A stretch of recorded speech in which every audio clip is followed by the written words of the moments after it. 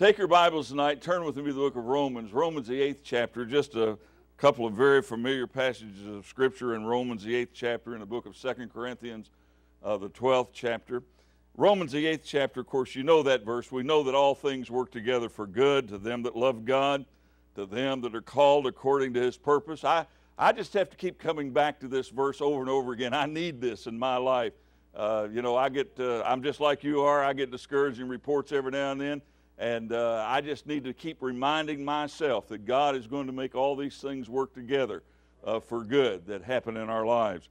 And then in 2 Corinthians, the 12th chapter, for this thing, I besought the Lord thrice. And now here's the Apostle Paul, and he has a thorn in the flesh, something that afflicts him, something that makes it difficult for him. And he says, uh, I, I besought the Lord thrice that it might depart from me. And he said unto me, My grace is sufficient for thee for my strength is made perfect in weakness. And then Paul says, Most gladly, therefore, will I rather glory in my infirmities, that the power of Christ might rest upon me. And then in the book of Revelation, the third chapter in verse 21, the Bible says, To him that overcometh will I grant to sit with me at my throne, even also as I overcame, and am set down with the Father in his throne. Someone has said this Christians are at their very best when times are at their very worst. And I've certainly found that to be true over the years as I've uh, ministered to many hundreds and hundreds of people uh, up and down the land. That when uh, things really get bad, and, and I've seen some folks go through some horrendous things, and boy, I'll tell you, it's uh, the Christian, when the real bad things happen, it's just amazing how uh, they manifest Christ in their lives. But Christians are at their best when times get at the worst. And uh, we find this to be a true principle in the lives of the prophets as well. And as we consider the life of Elijah and Jeremiah and Daniel and others, we remember that they were always at their very best when the times got very worst. And so as we look at their lives, we recognize that God wants us to have victory even when the disappointments come in our life. God wants us to have the victory in our life. Now, the question is, if we're living for the Lord and we're serving Him, why in the world do disappointments come into our life? You would think we would be exempt from that. After all, we're on God's side and He's on our side, and you'd think we'd just be free of any kind of problem, wouldn't you? But that's not the way it works out. Disappointments come because uh, there are folks other than believers that are living in this world. Not everybody's in this world is a believer. And so we're going to have lots of disappointments. The Supreme Court of the United States certainly disappointed us today, didn't it? And uh, what a disappointment to see those kind of rulings come down. And as we watch the news day after day, it just the news doesn't get any better. It just keeps getting worse and worse. We just it's like we're you know uh, we're on a slippery slope, and, and and this nation is just going down down so rapidly. It's unbelievable. And the reason for that is because we, there are people out there that don't believe the Bible. They don't believe the Word of God. They don't believe in God even. And, uh, and so that's why we have these disappointments. And so uh, as we go through life, uh, you're going to find that people fail you. And by the way, even Christians can fail you.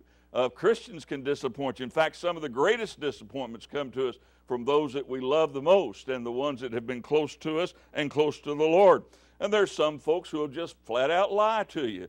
Uh, they, you know, when the, I say there's some people when the truth would be easier to tell, they tell a lie. Uh, and then squirm trying to figure out how to get out of it. And then there are others who are very critical, have a very critical spirit. And, and even though you're laboring and doing the best you know how to do, and, and, uh, but there's always someone there that's ready to uh, pounce on you and to criticize you, even though you're doing your best. But sometimes disappointments come simply because we're doing what is right.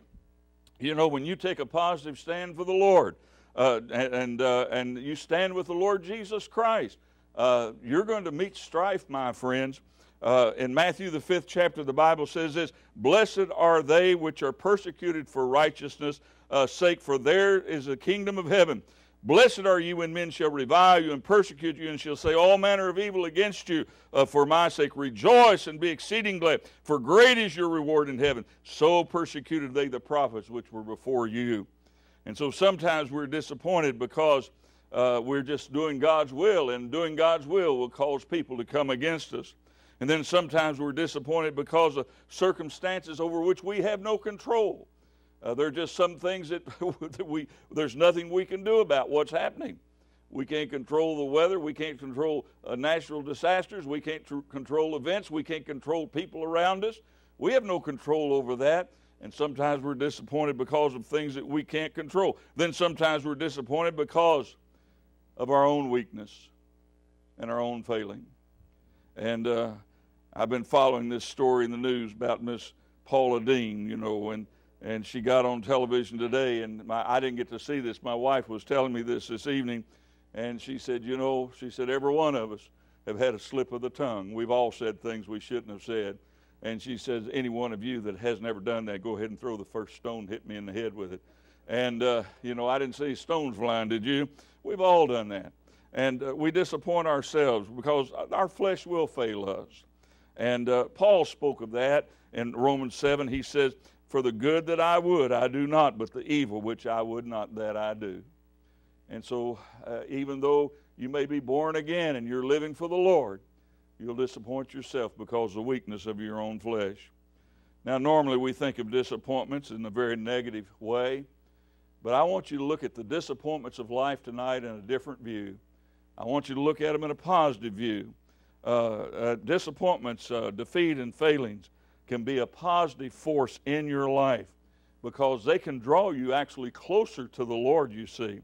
Uh, on the other side of the coin, when uh, we are self sufficient, and everything is going well and there's no problems in our life, we tend to become less aware of the presence of God. It's when we go through the trials that we sense God's presence with us. And so the truth of the matter is, we actually need disappointments in our life. We need those times of difficulty in our life because those times are used by God to draw us closer to Him. We can find victory over disappointments when we remember that there have been others who were victorious in times of disappointment. You know, God's greatest people suffered disappointing things. Think about Moses uh, when he was there up on the mountain and uh, he's coming back down. And what are the children of Israel doing? Oh my, they have made a golden calf and they're dancing around it and bowing down to it and saying, This is the God that brought us out of the land of Egypt. My, how disappointed he must have been uh, he was disappointed in the nation of Israel.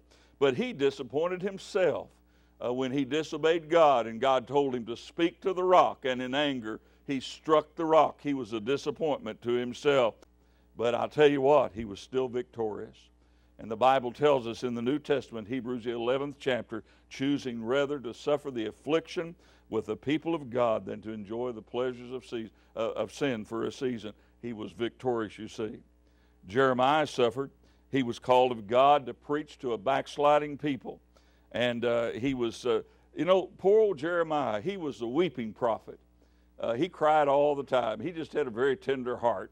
And his heart broke for the people that he was ministering to. And in Jeremiah, the ninth chapter, of the Bible says, Oh, that my head were waters, and mine eyes fountains of tears, that I might weep day and night uh, for the uh, slain of the daughters of my uh, of the daughter of my people. Uh, so uh, today, there's not much weeping today, is there? Not much weeping about sin today and about sinners today. But Jeremiah was a weeping man. His heart was heavy. There was disappointment, but he had victory over his disappointments. And I think about Paul, uh, who, after being such a faithful servant of God and going through all of the trials that he went through, to come down near the end of his life and to have to write this to Timothy For Demas has forsaken me having loved this present world. He's departed unto Thessalonica, Crescens to Galatia, Titus to Dalmatia, Alexander, the coppersmith, did me much evil. And so, as after Paul had done all he had done, establishing churches, preaching the gospel, winning souls, uh, his own friends forsook him. What a disappointment. And so, uh, God stood by these men of old. And if God stood by them in their hour of disappointment, I want you to know something. God will stand by you in your hour of disappointment. And you can win over failures in your own life and uh, the disappointments in your life. Here's how you win over it you just keep on serving God, just like that couple we talked about just a moment ago. Their little three year old girl's taken away from it. They just said, We're just going to keep on serving God. And that's how you win in this thing. I like what Jesus said. He said, I must work the works of him that sent me while the day is. The night cometh when no man can work. And so, uh, even though Jesus was barraged with all kinds of accusations, and, and there were those that hated him, they hated him so much that they called for his crucifixion, and yet he was determined to continue to serve God. And so, uh, uh, you know, the truth of the matter is that that's not what people do, though, most of the time. When they hit the disappointments of their life, uh, they want to quit. And I, I tell you, I, I, used to be able to count them on one hand, then two hands, and then I, I, ran out of fingers and toes, and I can't count them anymore. The people that I've known over the years who have hit a disappointing place in life and then just quit. Quit, their, quit teaching a class, quit going to church, quit serving God, just took, a, took another spin in their life because of some disappointment. Listen, when the disappointment comes, that's not the time to quit. That's the time to keep on serving God, my friend. Uh, don't quit reading your Bible. Don't quit praying. Don't quit soul winning. Don't quit going to church. But instead, let, let disappointments, instead of letting them cause us to quit, let them motivate us uh, to continue to serve. Uh, I, I, I, need to know where my weaknesses are. And uh, so when I fail, uh, it causes me to depend on God. It causes me to recognize, hey, there's a weakness in your life you'd better be depending on God, my friend. And as I depend more upon God, guess what? I'm drawn into a closer relationship with Him, and what happens? I become stronger. And so, if it wasn't for the disappointment, if it wasn't for the failure, I'd never get stronger. And so, use them to your advantage. As, as I deal with my own failings, it gives me a better understanding of what others are going through. You know, Paul was very aware of his own weakness, he talked very candidly about it and his own failings. He talked about that. And when he wrote his letter to Philemon, he begged for consideration for a slave who had wronged his master. And Paul's own failings caused him uh, to have compassion for this, this man who had gone uh, by the wayside, you see. And so when you experience disappointments, it can help you to see the need in someone else's life. And I can have victory in disappointments simply just by having faith in God. It's important to know your faith before the dark day comes, my friend, and know that victory comes before, from the Lord. Not only should we know our faith, but we should feed our faith. This is where I find a lot of people miss the mark today. They're not feeding their faith, they're filling their minds with the things of the world. They're all involved in the latest trends and fashions and movies and television programs and all of that kind of stuff and they neglect the feeding of their mind on the things of the Lord. We certainly need to feed our faith. We need to feed our faith with the Word of God. So then faith cometh by hearing, and hearing by the Word of God. We ought to feed our faith by prayer. Here are the two. You have asked nothing in my name. Ask and you shall receive, that your joy may be full, the Scripture said. You ought to feed your faith with meditation. First Timothy says, meditate on the things and give thyself wholly to them, that uh, uh, thy profiting may appear to all. You need to know your faith. You need to feed your faith. But let me tell you, you need to use your faith. That is, you ought to set out to serve God by faith. John said it this way in 1 John 5, verse 4 For, what, for whatsoever is born of God overcometh the world. And this is the victory that overcometh the world, even our faith. I don't know what you might be facing in life tonight or what you may face in the near future, but I do know this. If you'll remain faithful to God through the disappointment time, you'll come out on the winning side every single time.